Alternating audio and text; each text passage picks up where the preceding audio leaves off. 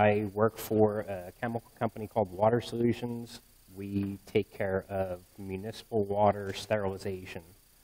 Uh, I've been doing this job for 25 years, so water is what I do every day.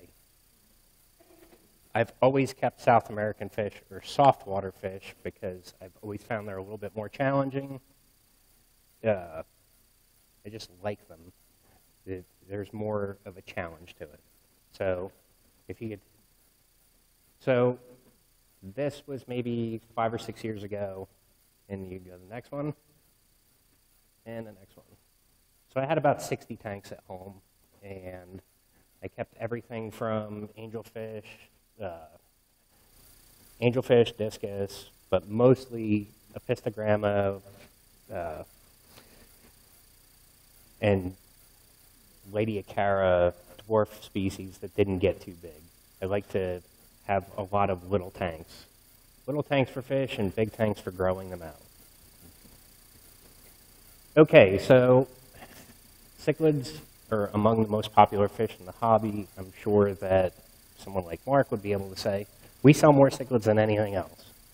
Uh, dwarf cichlids are found in about 12 genera of South American cichlids, the majority of which are fish that are less than four inches, and even about 70% of that less than two.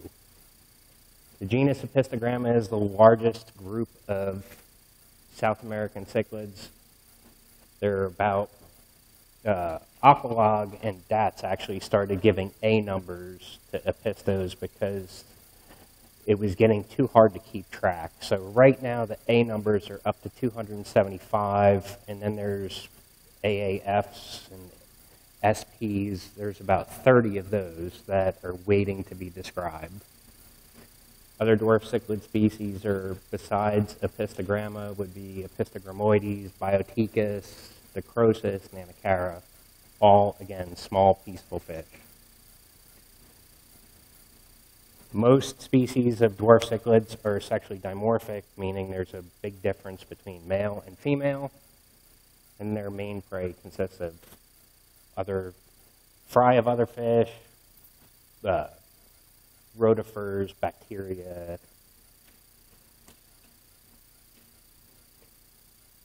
They've taken the groups of the large group of Apistogramma and broken it down into species lineage. So the largest group would be the Regani lineage, which consists of all of those fish.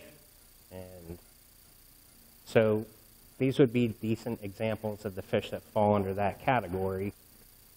Most of them have a stout little body, a uh, little bit taller.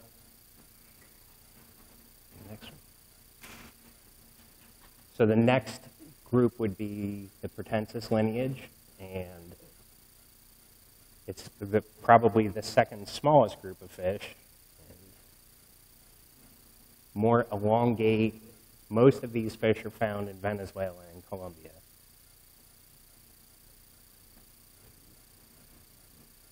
This is the group that most people are familiar with because they're the most common apistos, Cacatuoides, Trifasciata, Bitaeniata, or I'm sorry, Atahualpa.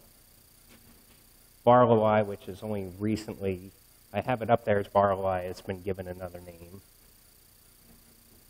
Uh, and again, those are the fish that most people are familiar with. They're the things you see in pet stores. They're the things that are mass bred all of these fish are wild types. So there's no line breeding going on there. That's actually what you would, that's how they're caught out of the creek. And again, another large group of apistos would be Agassizii. And it compromises Elizabethae, Gibbiceps, Bitaeniata. Again, some of the fish are real popular and they're things you see all the time. And then you have Elizabethae thrown in there, which is an extraordinarily hard to keep, really rare fish that you almost never see in the hobby. It's one of the apistos that I've never bred in captivity. And I've kept probably 30 pairs of them. And and they're not even a spectacular fish.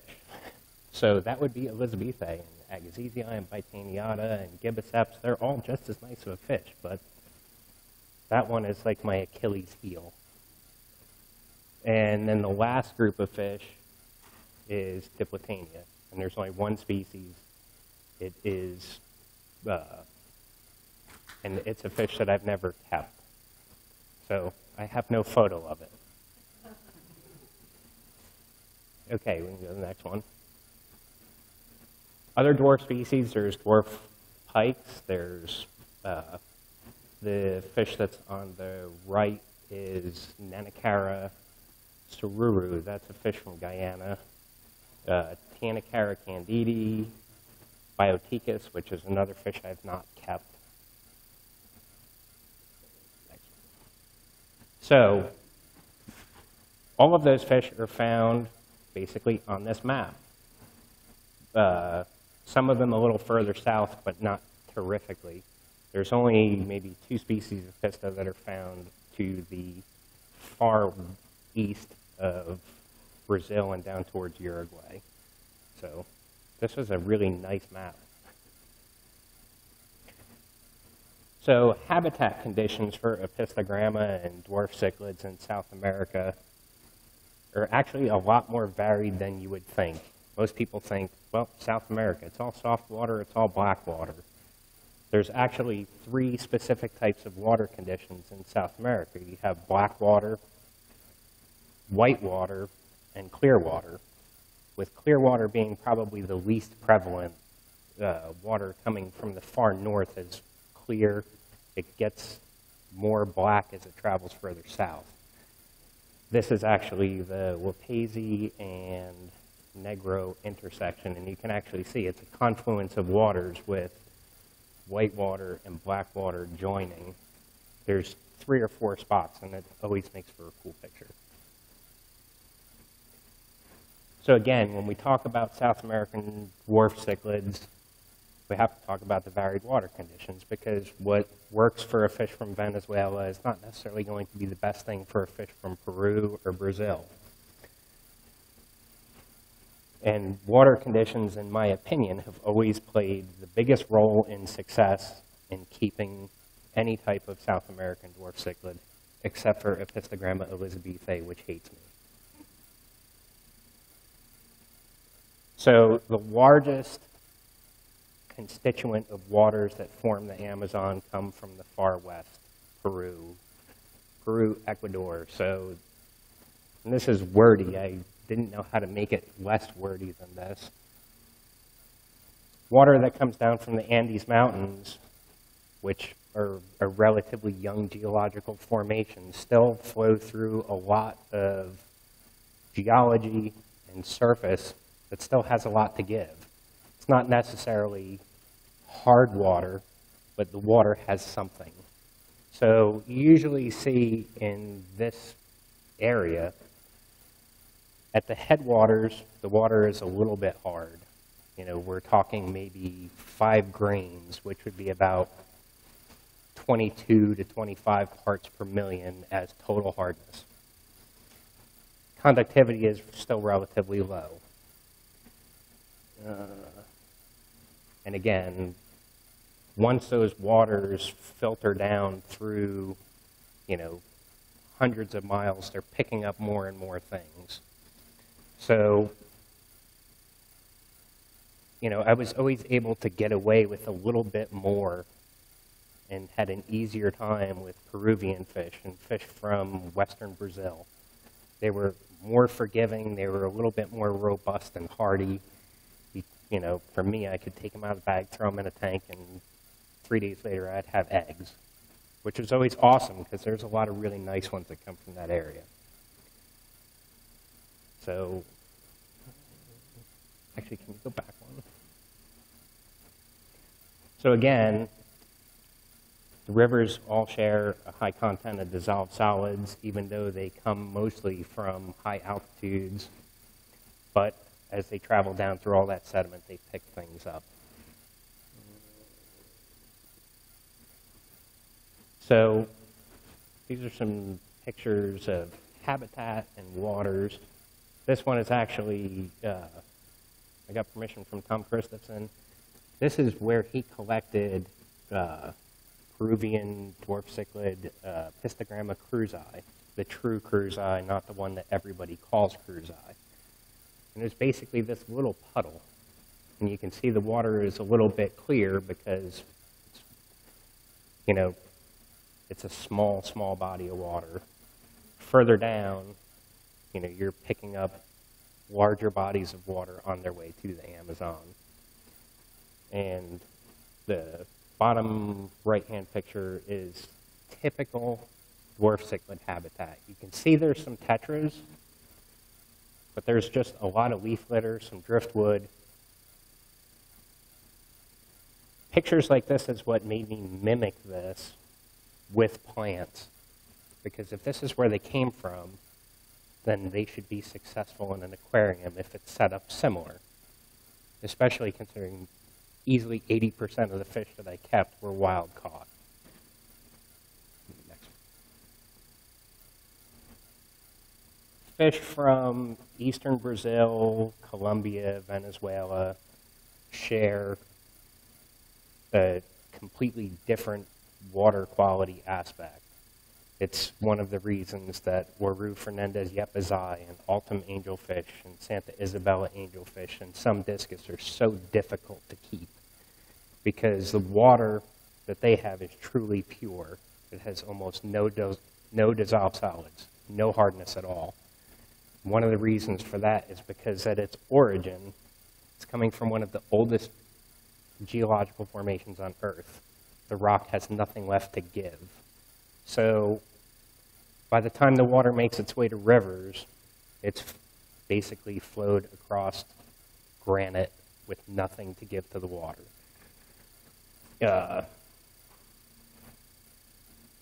there's also very little plant matter, and the plant matter that's there is, you know, lichens and small stuff. There's no gigantic deciduous forests or things dropping leaves. So the land in the Guyana Shield is poor in nutrients and pretty much sterile. Uh,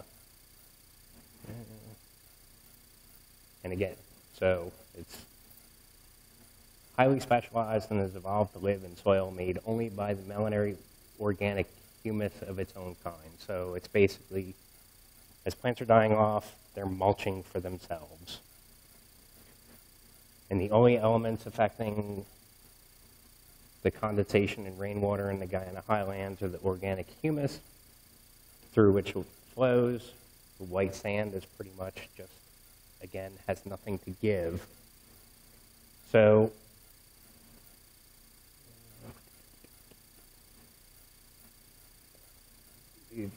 there's very there's no buffering action of any kind. So even by the time it makes its way to the Rio Negro, all it's picked up is tannins and humic acids and organic saponins and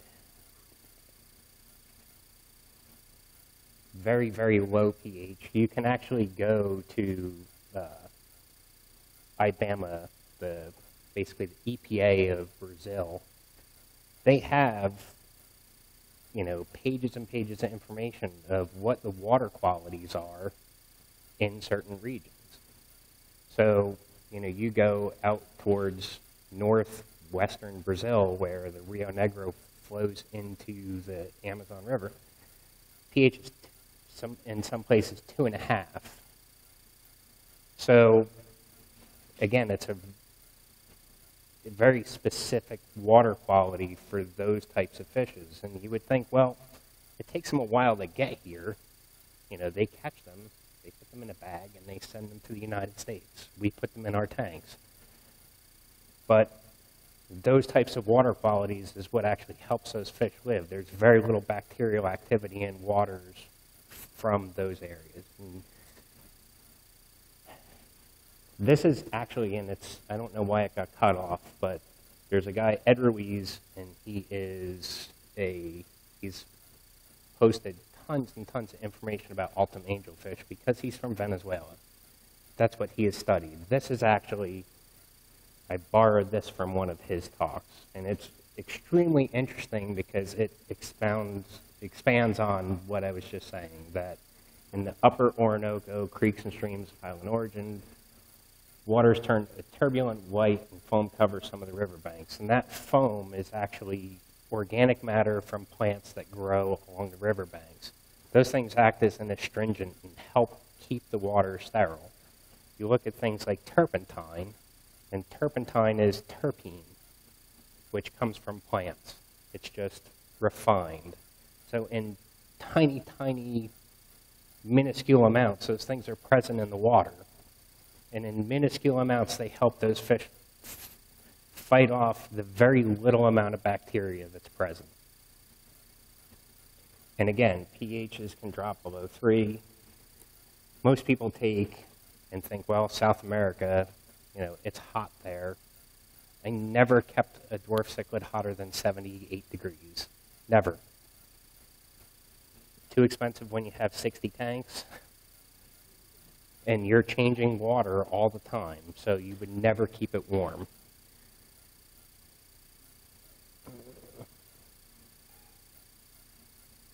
And so under these conditions, bacteria, fungi, and pathogens in general rarely represent a threat.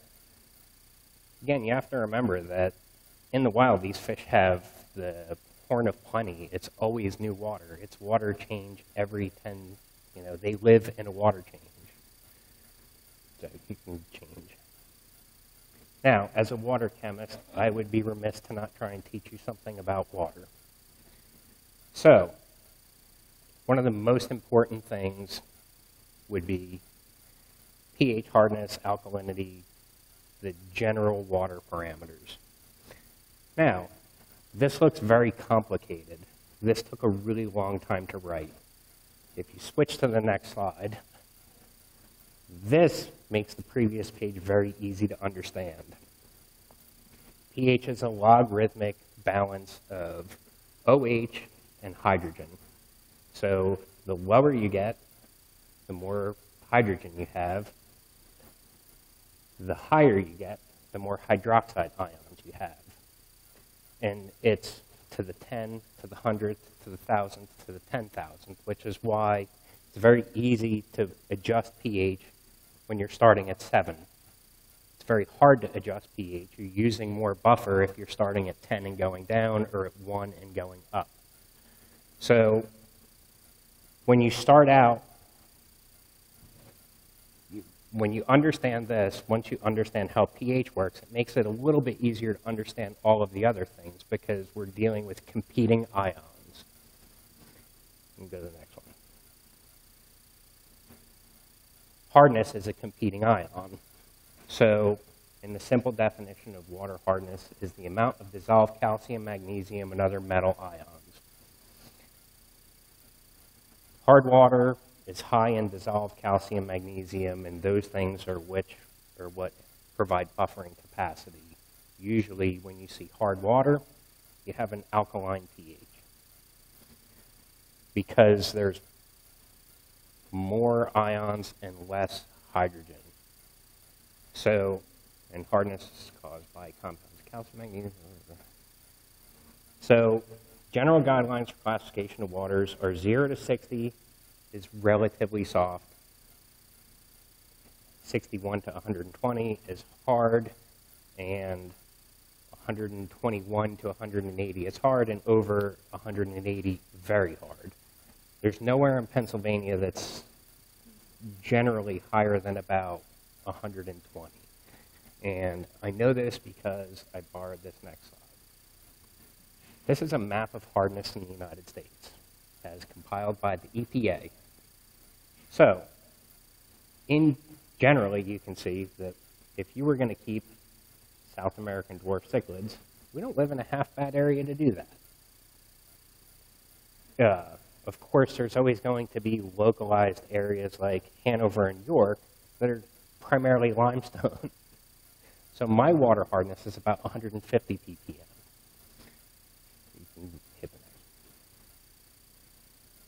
Now, we understand pH a little bit. We understand hardness a little bit. As you add competing ions, if they are metal ions or calcium or magnesium, they're going to increase conductivity. Pure water is a very poor conductor of electricity. Uh, as a matter of fact, DI water, the reason if you put it in a conductivity meter, it doesn't read is because there's nothing to conduct electricity. So conductivity of substances is defined as the ability to ability to power ability or power to conduct or transmit heat, electricity, or sound. Units are in Siemens per meter. Most of the meters that we use in uh, aquariums and our hobby are in microsiemens because the numbers are so small. Total dissolved solids is a different measurement than conductivity. It's normally about, you'll have about half of your conductivity number will be total dissolved solids. So TDS is a measure of total ions in solution, which is different than hardness because, or hardness or metals. So electrical conductivity is an actual measure of ion activity of a solution in terms of capacity or trans to transmit current. So again, in a dilute solution, TDS and electrical conductivity are reasonably comparable. So if the TDS of a water sample based on the measured electrical conductance value can be calculated using the following, which is roughly half.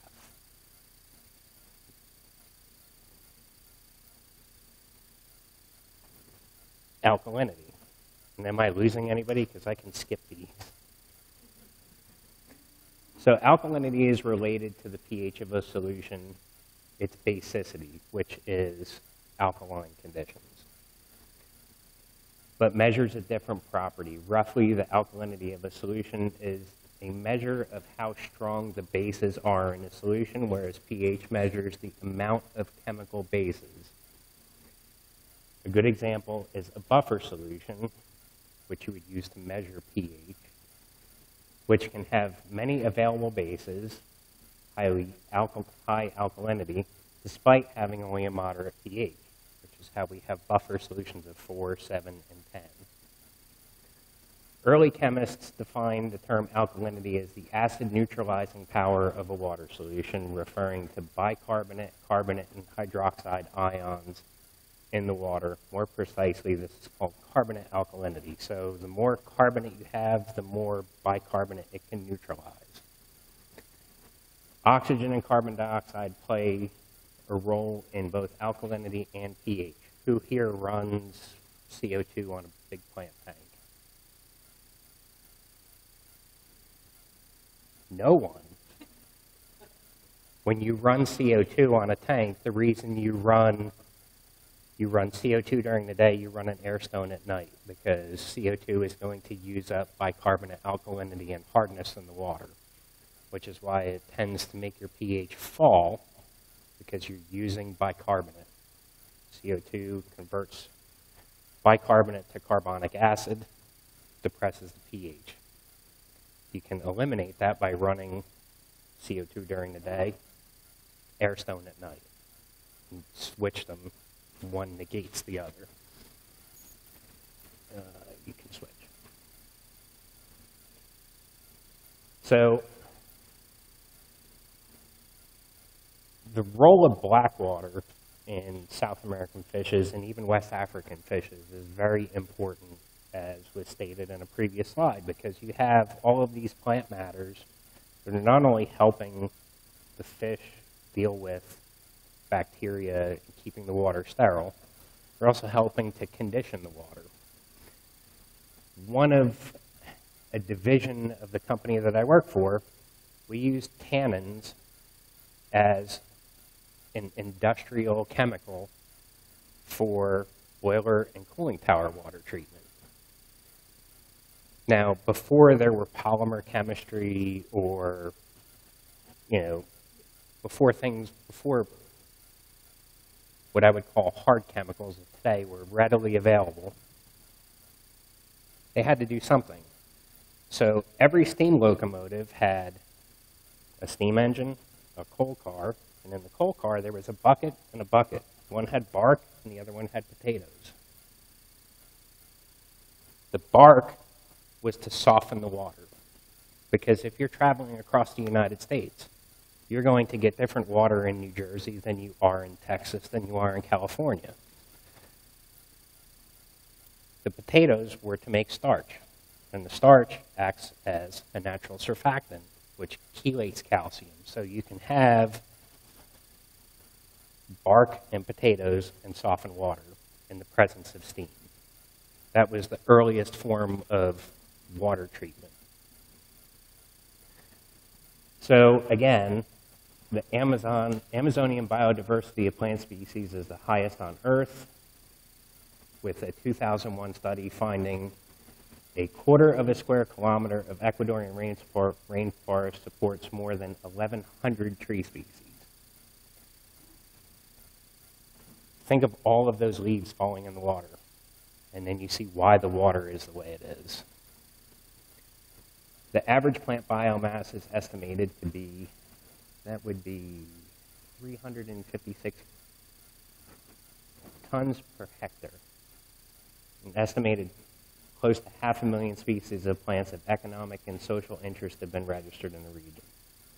So again, you have a massive amount of detrite, water flowing across and through plant matter that plant matter is breaking down, tannins are the foundation of any leaf, wood, stick. It is the glue that holds everything together.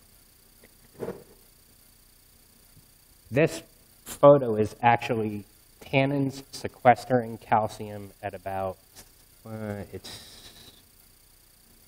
so that would be one one hundred thousandth of a millimeter. The way it works is condensed tannins have a flavonoid core as a basic structure, and the hydro, hydro, hydrolyzable tannins are glucose esters of gallic and ellagic acid. The aqueous phase pH governs the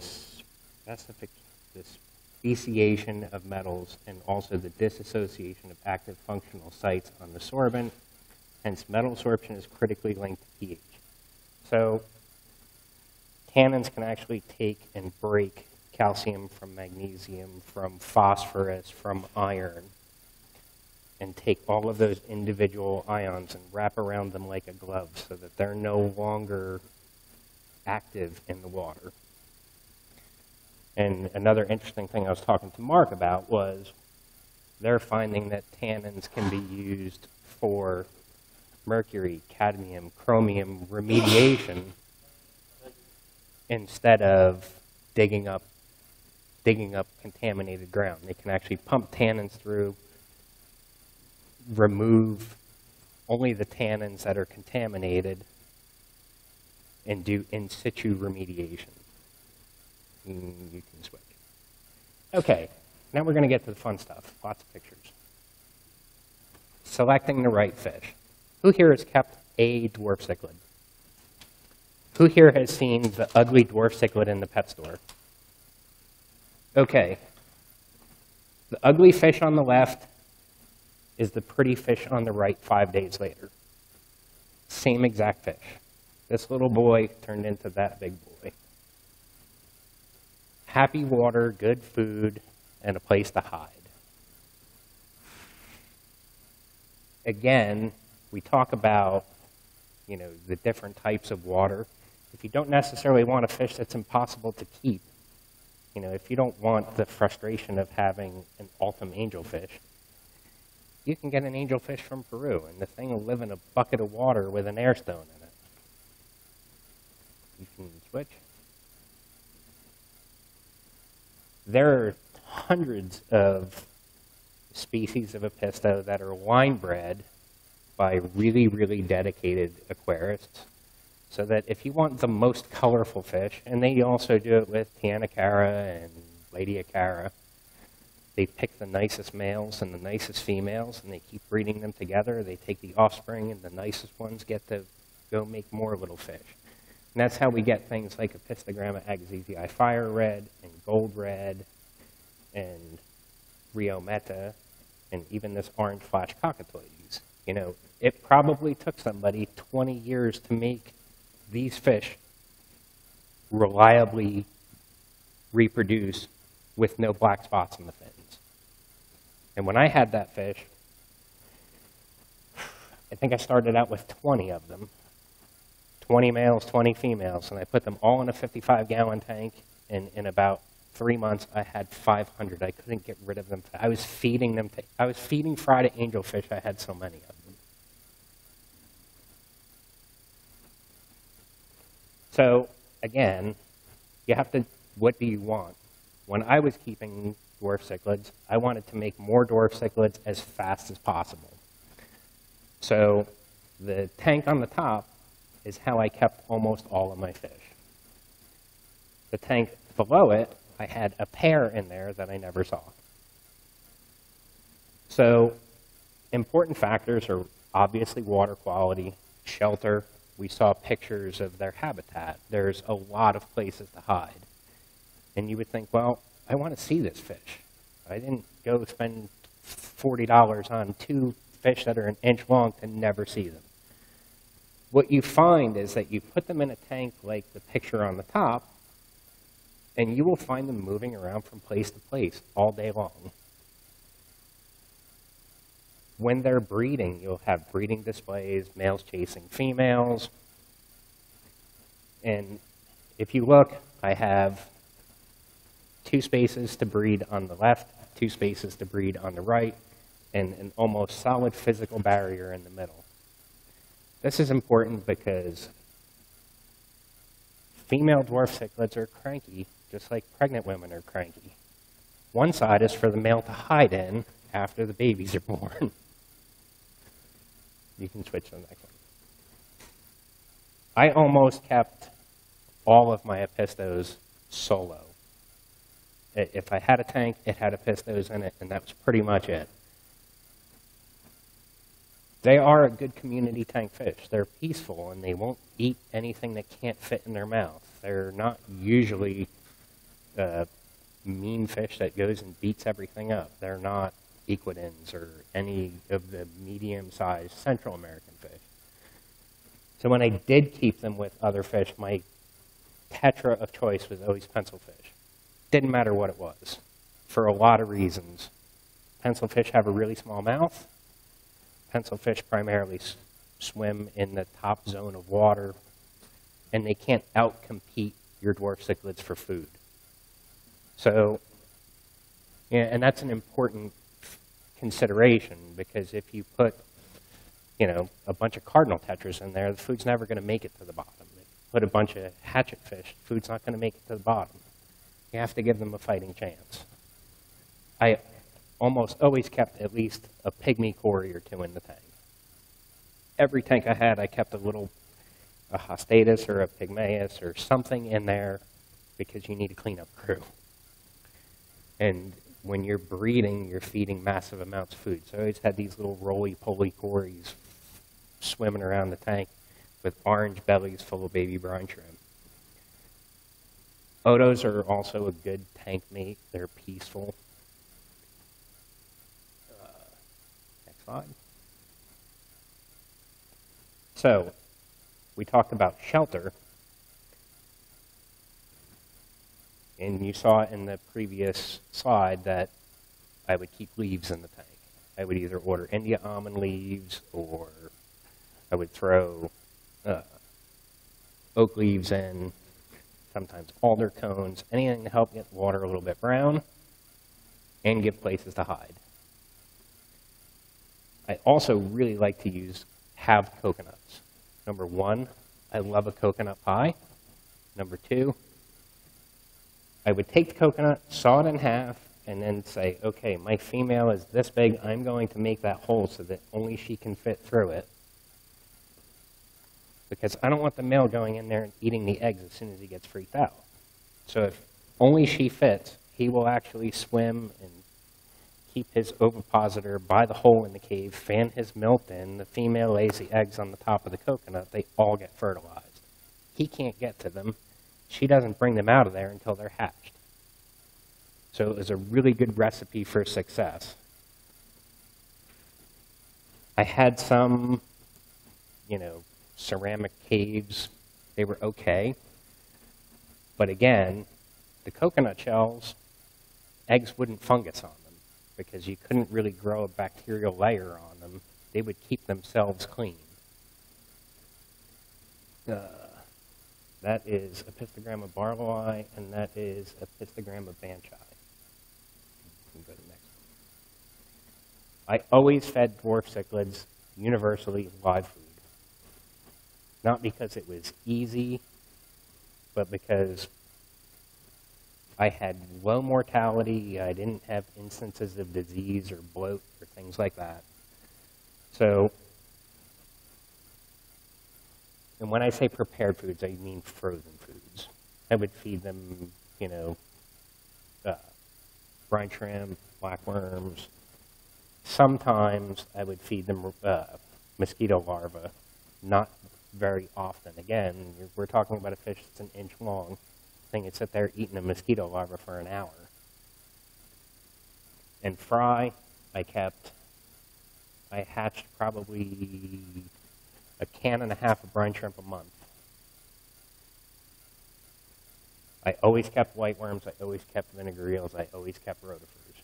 I would take dead fish or dirty, filthy water from cleaning sponge filters, and I had a 55-gallon drum behind the garage that was clear with a big cover over it.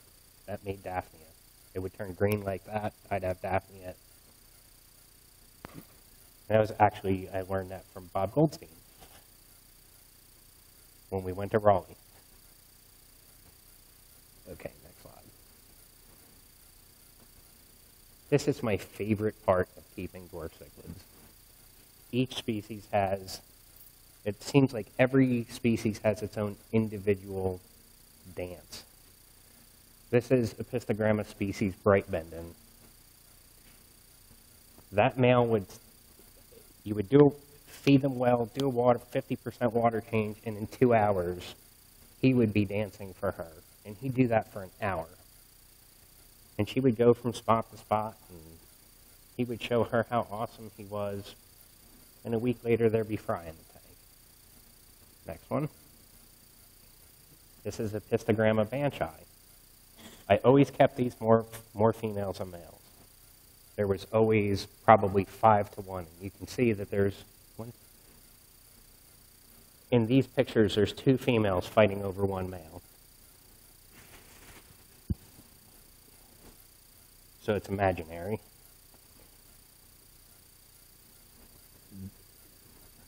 if I didn't keep this species with more females than males, when they spawned, I would only get female fish.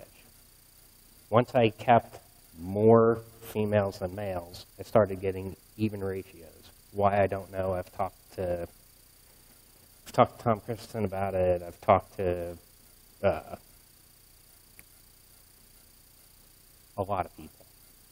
It's just one of those things. I tried everything. I tried cold water, hot water, hard water, soft water. I got all females. You know, and maybe not all, but if you have 150 fish and you only have two males, something weird is going on. I started keeping more females in the tank. I was getting the same amount of fry per, per spawn, but I started getting 50% males, 50% females, almost dead on. It was almost like one female made all males, one female made all males. Okay, you can go next. All apistos lay eggs, just like all cichlids. Uh, so the female on the top, that's probably day one, what I always called the fry parade. Because once, once they were free swimming, she would just, they would all bring them out of the cave and let them swim around. The fry on the top is probably a millimeter and a half long. The next one down is probably two millimeters long. And again, on the guy on the top, you can see he's got a belly full of brine shrimp. They would go from about that millimeter and a half size to an inch in maybe a month. They would get a 50% water change every day. They ate live food every day. As soon as they were more than a quarter of an inch long, they got pulled and thrown in a 55 gallon tank. When they got to be, when you could, when I could tell what species they were, because sometimes I'd have to mix them up because I didn't have room.